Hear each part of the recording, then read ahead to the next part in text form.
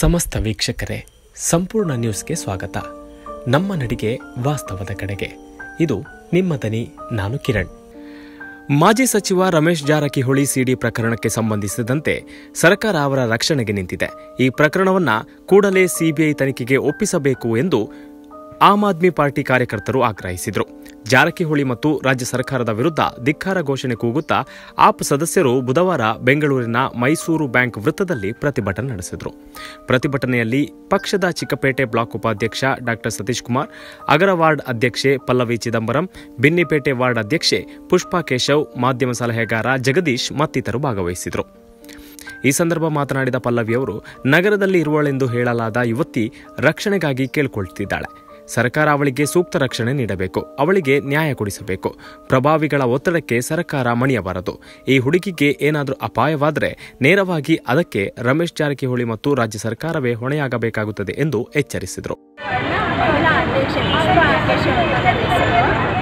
ಇಲ್ಲಿ ನಾವು ಪ್ರತಿಭಟನೆ ಮಾಡ್ತಾ ಇರೋದು ಗೊತ್ತಿದೆ ಈಗ ಜಾತಿಯಲ್ಲಿ ಹೆಣ್ಮಕ್ಳಿಗೆ ಅನ್ಯಾಯ ಆಗಿದೆ ನಿಜಕ್ಕೂ ಅನ್ಯಾಯನೇ ಅದು ಆ ಹೆಣ್ಮಕ್ಳಿಗೆ ನ್ಯಾಯ ಸಿಗುವಂಥ ಕೆಲಸ ಆಗಬೇಕು ಎಸ್ ಐ ಟಿ ತನಿಖೆ ಬಿಟ್ಟು ನ್ಯಾಯಾಂಗ ತನಿಖೆಯಿಂದ ಆ ಹುಡುಗಿಗೆ ನ್ಯಾಯ ಸಿಗುತ್ತೆ ಅಂತ ನಮ್ಮ ಅನಿಸಿಕೆ ಖಂಡಿತ ಸರ್ಕಾರ ಅದನ್ನು ಮಾಡಬೇಕು. ಮುಂದೆ ಹುಡುಗಿ ಸಿಟಿನಲ್ಲಿ ನನಗೆ ಜೀವ ಭಯ ಆಗಿದೆ. ನನಗೆ ಸರ್ಕಾರ ಆಗಲಿ, ಬೇರೆ ಪ್ರಭಾವಿ ವ್ಯಕ್ತಿಗಳ ಸಪೋರ್ಟ್ ಯಾರೂ ಇಲ್ಲ ನಮಗೆ ಅಂತ ಹುಡುಗಿ ನೊಂದ್ಕೊಂಡು ಹೇಳಿದ್ದಾಳೆ ಆ ಹುಡುಗಿಗೆ ಸ, ನ್ಯಾಯ ಏನಾದರೂ ಮುಂದೆ ತೊಂದರೆ ಆದರೆ ಅದಕ್ಕೆ ನೇರ ಜಾರಕಿಹೊಳಿಯವರು ಕಾರಣ ಆಗ್ತಾರೆ. ಮತ್ತು ಸರ್ಕಾರ ಕಾರಣ ಆಗುತ್ತೆ ಅಂತ ಈ ಸಂದರ್ಭದಲ್ಲಿ ಹೇಳಕ್ಕೆ ಇಷ್ಟಪಡ್ತೀನಿ.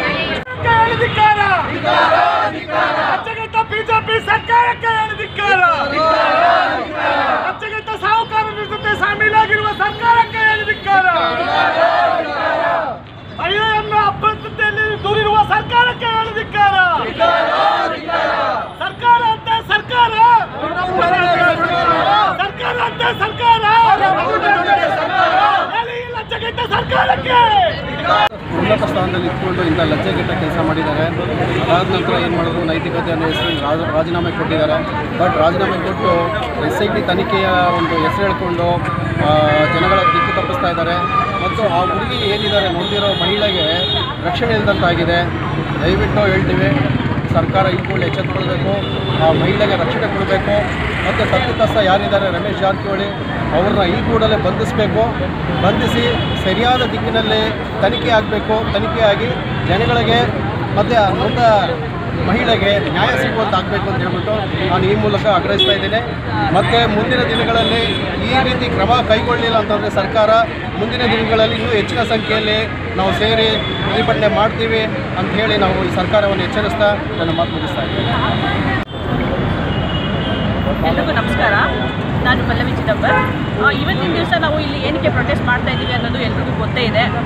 ನಮ್ಮ ಪ್ರತಿಭಾನ್ವಿತ ಒಬ್ಬ ರಾಜಕಾರಣಿಗಳು ಏನು ಸಚಿವರು ಮಾಡಿರ್ತಕ್ಕಂತಹ ಒಂದು ಲೈಂಗಿಕ ಹಗರಣದ ಬಗ್ಗೆ ನಮ್ಮ ನಾವೆಲ್ಲರೂ ಇತ್ತೀಚೆಗಷ್ಟೇ ನಾವು ನೋಡಿದ್ವಿ. ಆದರೆ ನಮ್ಮ ಸರ್ಕಾರ, ರಾಜ್ಯ ಸರ್ಕಾರ ಏನು ಮಾಡ್ತಾ ಇದೆ ಅಂತಂದರೆ ಅವ್ರನ್ನ ಒಂದು ಸೇಫ್ ಗಾರ್ಡ್ ಮಾಡ್ತಾ ಇದೆ. ಯಾವುದೋ ಒಂದು ಎಸ್ ಎಸ್ ಐ ಟಿ ಅನ್ನೋ ಒಂದು ತನಿಖಾ ತಂಡಕ್ಕೆ ಅದನ್ನು ಕೇಸನ್ನ ವಹಿಸಿಬಿಟ್ಟು ಅವ್ರನ್ನ ಎಷ್ಟು ಸಾಧ್ಯನೋ ಅಷ್ಟು ಅವ್ರನ್ನ ಸೇಫ್ ಮಾಡಿಬಿಟ್ಟು ಅವ್ರನ್ನ ಮತ್ತೆ ಮಂತ್ರಿಮಂಡಲಕ್ಕೆ ಸೇರಿಸ್ಕೊಳ್ಬೇಕು ಅಂತ ಒಂದು ನಿರ್ಧಾರ ಕೂಡ ಮಾಡ್ತಾ ಇದ್ದಾರೆ.